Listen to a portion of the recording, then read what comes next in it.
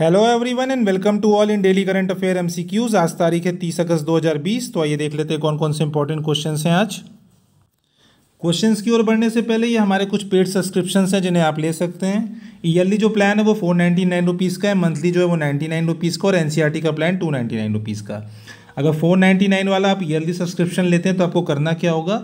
Four ninety nine rupees आपको Google पे या फ़ोन पे करना है रिस्पेक्टिव नंबर पे। उसके बाद स्क्रीनशॉट को शेयर करना है व्हाट्सएप पे। जैसे आप स्क्रीनशॉट को शेयर करते हैं ना व्हाट्सएप पे, आप ये सारी फैसिलिटीज़ को अवेल कर पाएँगे और साथ में जो भी हम लोग करंट अफेयर डिस्कस करने जा रहे हैं, उसके पीडीएफ नोट को भी अवेल कर पाएँगे। तो चलिए बढ़ते हैं आगे। क्वेश्चंस को स्टार्ट करने से पहले आइए, कल के क्वेश्चन पे बात कर लेते हैं। कल मैंने पूछा था कि फॉकलैंड आइलैंड जो है वो कहाँ पे लोकेटेड है? तो आइए लोकेशन देख लेते हैं मैप में। देखिए अटलांटिक ओशियन है। अगर आप अटलांटिक ओशियन से साउथवर्ड मूव करेंगे तो ये साउथ अमेरिका वाला रीजन है। तो आप यहाँ पे देखेंगे, दो छोटे छोटे आइलैंड आपको दिखेंगे। इनका नाम है फॉकलैंड आइलैंड इसी आइलैंड की वजह से बगल से जो ओशियानिक करंट निकलती है कोल्ड ओशियानिक करंट से फॉकलैंड करंट कहते हैं। और ये जो आइलैंड है वो एडमिनिस्टर किए जाते हैं यूनाइटेड किंगडम के द्वारा।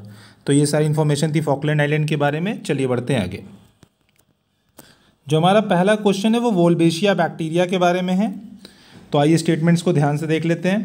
पहला स्टेटमेंट ये कहता है, एक तरह का नेचुरल बैक्टीरिया जो कि पाया जाता है इंसेक्ट स्पीसीज़ में। हमारा जो दूसरा स्टेटमेंट है वो ये कहता है कि ये जो वोल्बेशिया उसका यूज़ किया जाता है डेंगू को कंट्रोल करने में। तो बताइए कौन कौन से स्टेटमेंट करेक्ट हैं? तो मैं आपको बता देना चाहता हूँ, दोनों के दोनों स्टेटमेंट बिल्कुल करेक्ट है तो ऑप्शन सी करेक्ट हो जाता है। आइए जान लेते हैं वोल्बेशिया के बारे में। देखिए, जो वोल्बेशिया है ना, वो हाल में ही न्यूज़ में था। क्यों? क्योंकि जो वर्ल्ड मॉस्किटो प्रोग्राम के रिसर्चर्स हैं ना, उन्होंने एक नया तरीका खोज निकाला है डेंगू को कंट्रोल करने के लिए। अब जैसे आपको पता है कि एडीज इजिप्टी जो मॉस्किटो होता है ना, वो फैलाता है किसको किसको? डेंगू को, चिकनगुनिया को जीका को येलो फीवर को।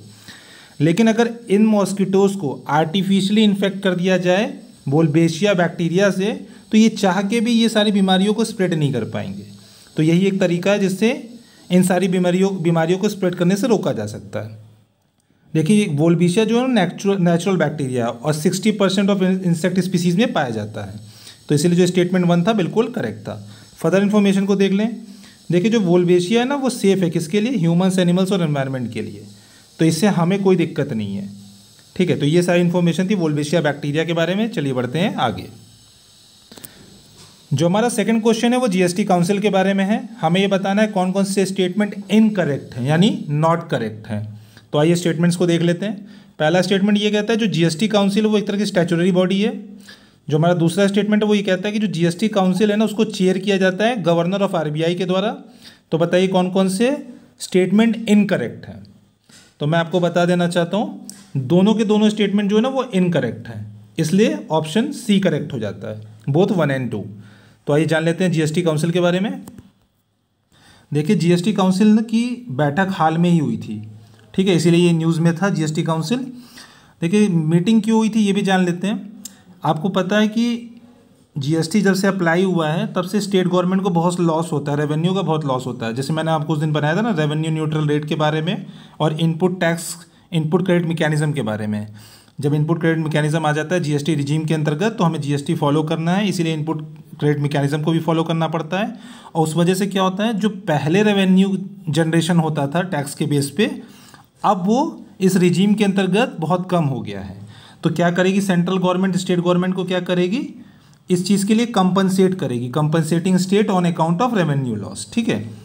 Implementation of GST and cess collection जैसे जब से जीएसटी का इम्प्लीमेंटेशन हो गया, तब से कलेक्शन ऑफ़ सेस जो होता है ना, वो भी कम हो गया है। तो इसलिए ये न्यूज़ में था। फर्दर इन्फॉर्मेशन को देख लेते जो जीएसटी काउंसिल है, वो कॉन्स्टिट्यूशनल बॉडी है, ना कि स्टेचुरी बॉडी और ये मेंशन है किस आर्टिकल में? आर्टिकल 279 ए में। इससे जो पहला स्टेटमेंट था इनकरेक्ट था। जीएसटी काउंसिल जो है ना, वो चेयर की जाती है किसके द्वारा? यूनियन फाइनेंस मिनिस्टर के द्वारा, ना कि आरबीआई के गवर्नर के द्वारा। इसलिए जो दूसरा स्टेटमेंट था, वो भी इनकरेक्ट था। बाकी जो मेंबर्स होते हैं, उनको भी देख सकते हैं। देखिए, इसमें यूनियन स्टेट मिनिस्टर होते हैं किसके? रेवेन्यू और फाइनेंस के। और minister of incharge minister incharge of finance और टैक्सेशन किसके होते हैं? सारे स्टेट्स के। तो ये सारी इन्फॉर्मेशन थी जीएसटी काउंसिल के बारे में। चलिए बढ़ते हैं आगे। जो हमारा थर्ड क्वेश्चन है, वो ट्राइबल ग्रुप के बारे में है। नीचे कुछ पर्टिकुलरली वनरेबल ट्राइबल ग्रुप के नाम मेंशन है, जो कि अंडमान एंड निकोबार आइलैंड में पाई जाती है। हमें बताना है, इनमें से कौन कौन सी जो ट्राइब है, वो अंडमान एंड निकोबार आइलैंड से रिलेटेड है। तो आइए आइए ट्राइब्स को देख लेते हैं। पहली है जरावाज ऑनजीज शॉम्पेंस नॉर्थ सेंट्रलीज जुआंस एंड कोयाज तो हमें बताना है कौन कौन सी tribal group Andaman Nicobar island से रिलेटेड है या पाई जाती है वहाँ पे।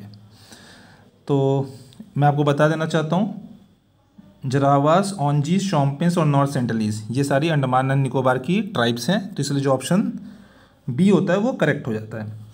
देखिए, जो ये ट्राइब ग्रुप है ना, ये बार बार न्यूज़ में आ रहा है।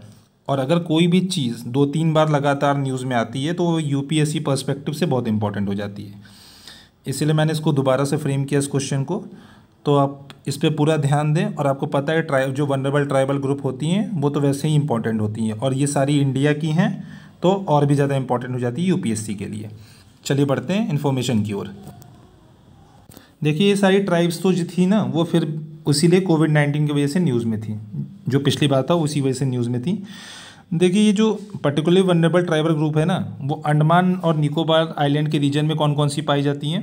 ग्रेट एंडामाजीज जारवाज ऑनजीज शॉम्पेंस और नॉर्थ सेंट्रलीज इसलिए ऑप्शन बी जो था वो करेक्ट था। देखिए जो शॉम्पेंस होती है ना, वो मोंगोलाइट फीचर की हैं। बाकी जो जितनी भी ट्राइबल ग्रुप हैं, वो निगोराइड फीचर्स की हैं। फर्दर इन्फॉर्मेशन को देख लेते हैं। देखिए जो जुआंग ट्राइब है ना, वो उड़ीसा की और कोयास जो ट्राइब है, वो लक्षद्वीप आइलैंड की है। तो ये सारी इन्फॉर्मेशन थी इस ट्राइबल ग्रुप के बारे में। चलिए बढ़ते हैं आगे। देखिए, जो मेरा फोर्थ क्वेश्चन है, वो उर्दू से रिलेटेड है। आइए स्टेटमेंट्स को ध्यान से पढ़ लेते हैं। पहला स्टेटमेंट ये कहता है कि जो उर्दू लैंग्वेज है, वो डेवलप हुई थी और फ्लरिश हुई थी कब? दिल्ली सल्तनत के पीरियड के दौरान। हमारा जो दूसरा स्टेटमेंट है, वो ये कहता है कि ये जो एट शेड्यूल में जितनी भी लैंग्वेजेस मैंशन है कॉन्स्टिट्यूशन में, उनमें से एक लैंग्वेज है। जो हमारा तीसरा स्टेटमेंट है, वो ये कहता है कि ये मेजर लैंग्वेज है किसकी कहाँ की? साउथ ईस्ट साउथ एशिया की। तो बताइए कौन कौन से स्टेटमेंट करेक्ट हैं? तो मैं आपको बता देना चाहता हूँ, तीनों के तीनों जो स्टेटमेंट है, वो बिल्कुल करेक्ट हैं। इसलिए ऑप्शन डी करेक्ट हो जाता है। आइए देख लेते हैं इसके बारे में। देखिए हाल में न्यूज़ में था क्यों? क्योंकि वर्ल्ड उर्दू कॉन्फ्रेंस हुआ है 2020 वाला, जो ऑर्गेनाइज किया गया था किसके द्वारा? National council for promotion of Urdu language ठीक है? तो इसीलिए न्यूज़ में था। देखिए, आपको बता दें कि जो उर्दू लैंग्वेज है ना, वो डेवलप हुई थी और फ्लरिश हुई थी कब? दिल्ली सल्तनत के टाइम पे ही ट्वेल्थ से सिक्सटीन सेंचुरी के बीच में। जब से जब मुग़ल एम्पायर आया कब? सिक्सटीन से नाइनटीन सेंचुरी के बीच में। तो ये जो होता है ना, ये जो उर्दू लैंग्वेज है, वो बहुत सारे कोर्ट पोइट्स के द्वारा यूज़ की गई, अपनी पोइट्री और राइटिंग्स में। इसलिए जो स्टेटमेंट वन था, बिल्कुल करेक्ट था। अब देखिए, जो उर्दू लैंग्वेज है ना, वो शेड्यूल एट में जितनी भी लैंग्वेजेस मेंशन है कॉन्स्टिट्यूशन में से, उनमें से एक लैंग्वेज है।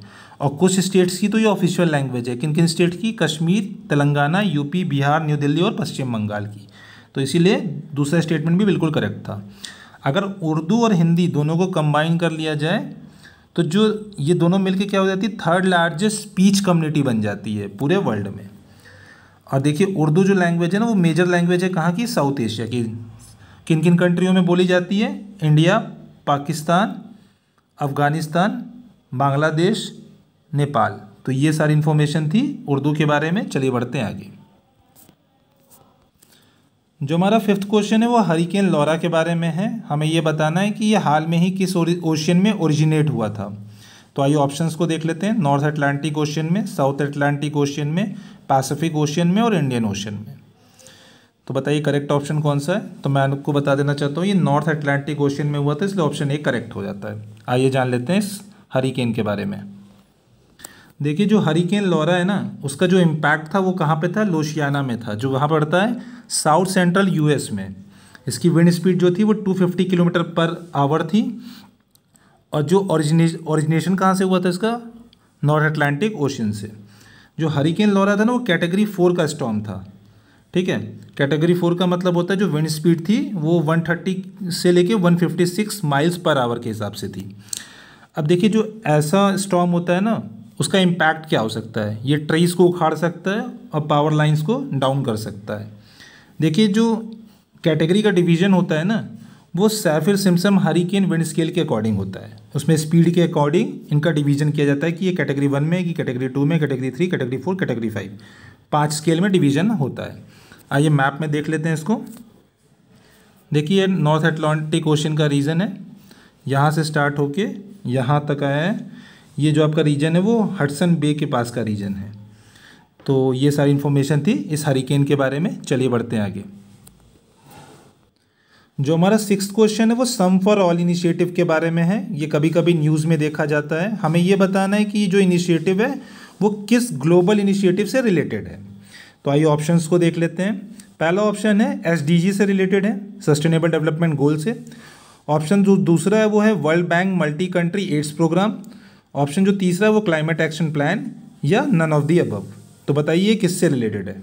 तो मैं आपको बता देना चाहता हूँ सम फॉर ऑल इनिशिएटिव जो है वो सस्टेनेबल डेवलपमेंट गोल से रिलेटिव रहे। तो इसलिए ऑप्शन जो ए होता है वो करेक्ट हो जाता है।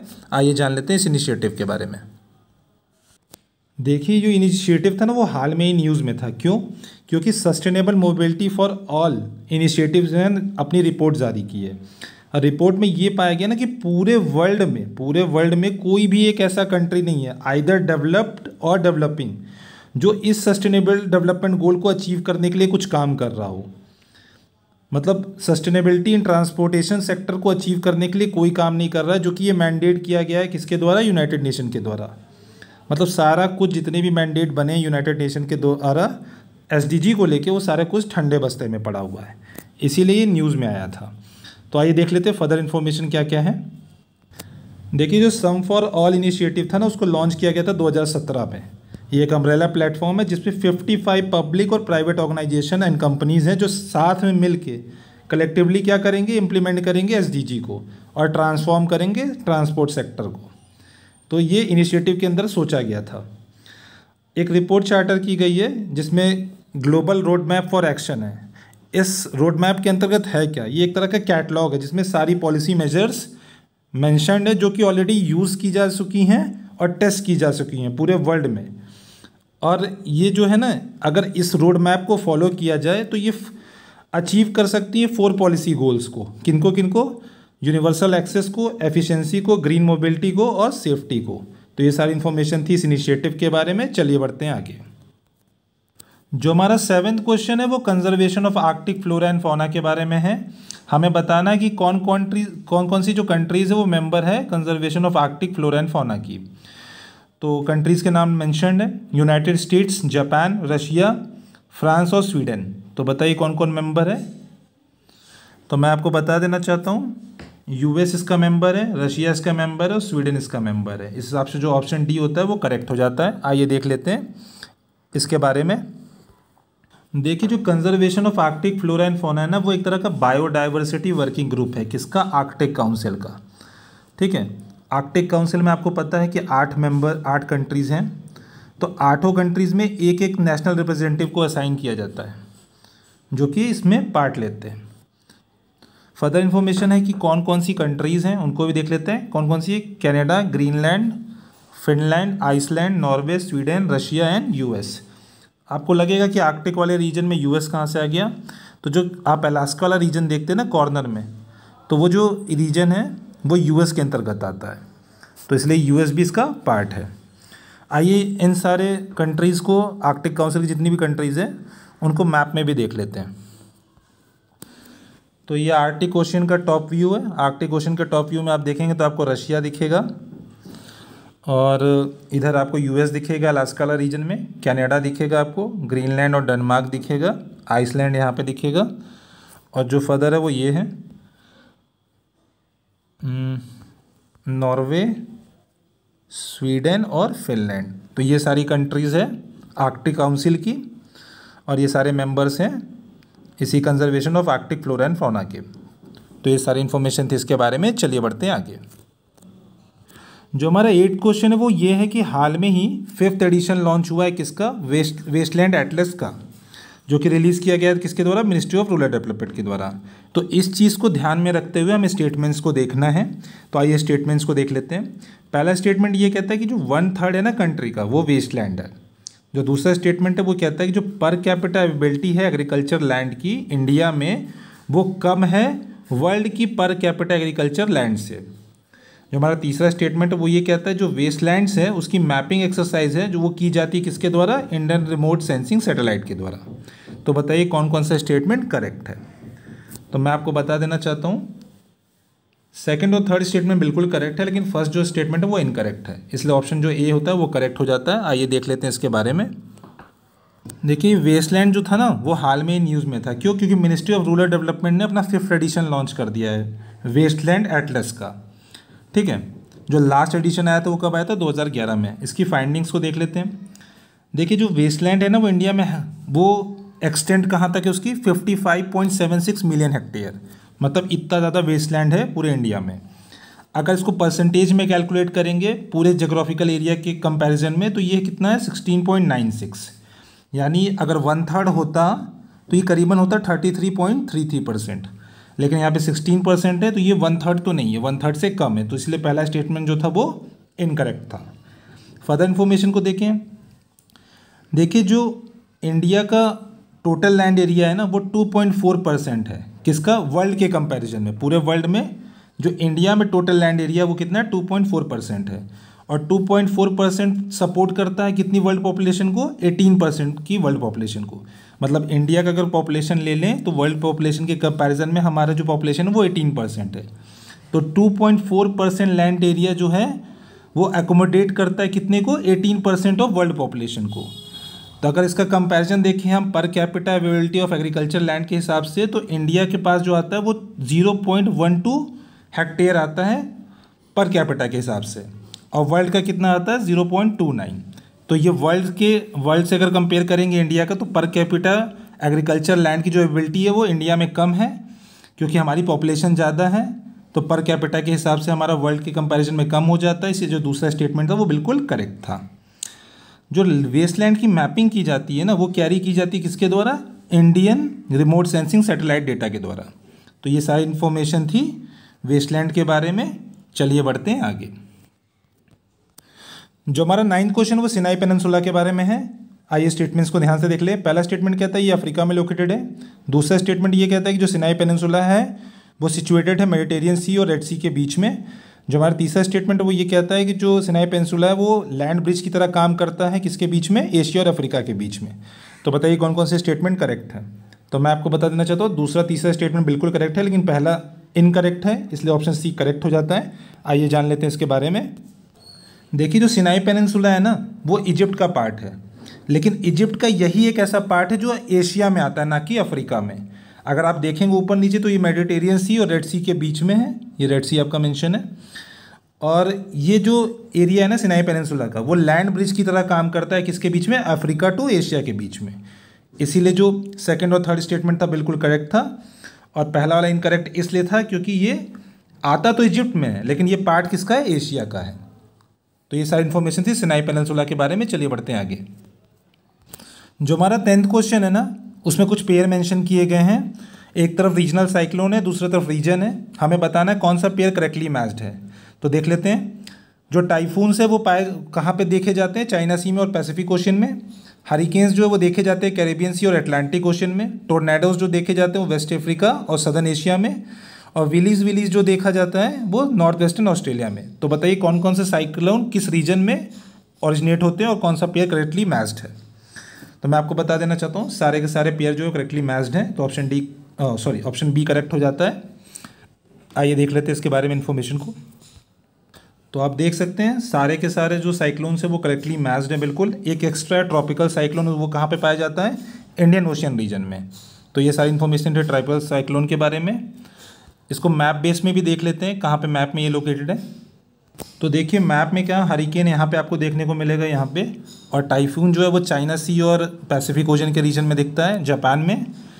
तो ये यहाँ पे दिखता है, और जो आपका विली विली था, वो नॉर्थ वेस्टर्न ऑस्ट्रेलिया में दिखता है, यानी यहाँ के रीजन में।